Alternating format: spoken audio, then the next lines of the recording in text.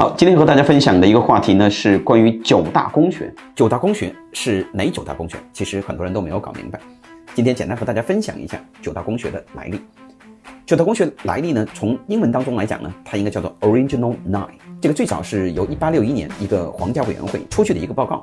这个报告呢，调查了在英国最好的九所中学。这九所中学当中呢，其中包括七所寄宿学校和两所走读的学校。这九所学校分别是伊顿公学。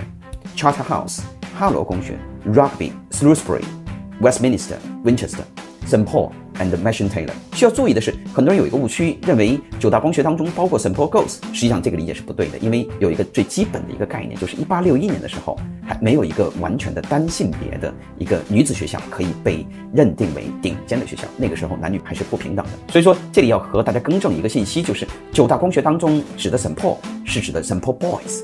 我们回过头来看一下九大公学的一个基本的一个定义，就像刚才讲过的一样，一八六一年定义的九大公学。但实际上，公学在英文里边叫 public school，专门指的是英国的私立精英学校。公学部分与皇室有关，或者是由一些较富有的社会人士设立，为他们的子女提供教育。但是，并不是所有的英国私立学校都能够被称之为公学。一般的私立学校通常被称之为独立学校 （independent school）。虽然公学没有标准的一个定义，但是历史悠久。注重人文教育，提供普通中学所没有的古典与宗教课程，注重体育教育和活动，学费昂贵，而且很少提供奖学金。由于教学质量高，而且大多数毕业生最后都进入到牛津、剑桥，或者是成为政治或者经济金融业的精英。英国的公学已经成为全世界富家子弟梦寐以求的学府。公学其实最早的时候是为比较贫穷的人家或者平民的子弟提供教育的场所，但到十八世纪逐渐发展成为贵族学校。入读这种学校的基本条件并不是学费，而是家庭背景。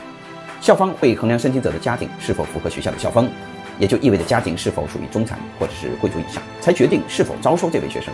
当然，今天的九大公学已经彻底的抛弃了原来的这种评估家庭背景的做法，大部分情况下看的是孩子的这个学习成绩。到一九零二年的时候，英国政府年鉴列出了一百零二间比较有名的公学，并把这些学校分为五个等级，可见当时等级划分的分明。公学学生多数会选择在十九岁的时候进入到大学。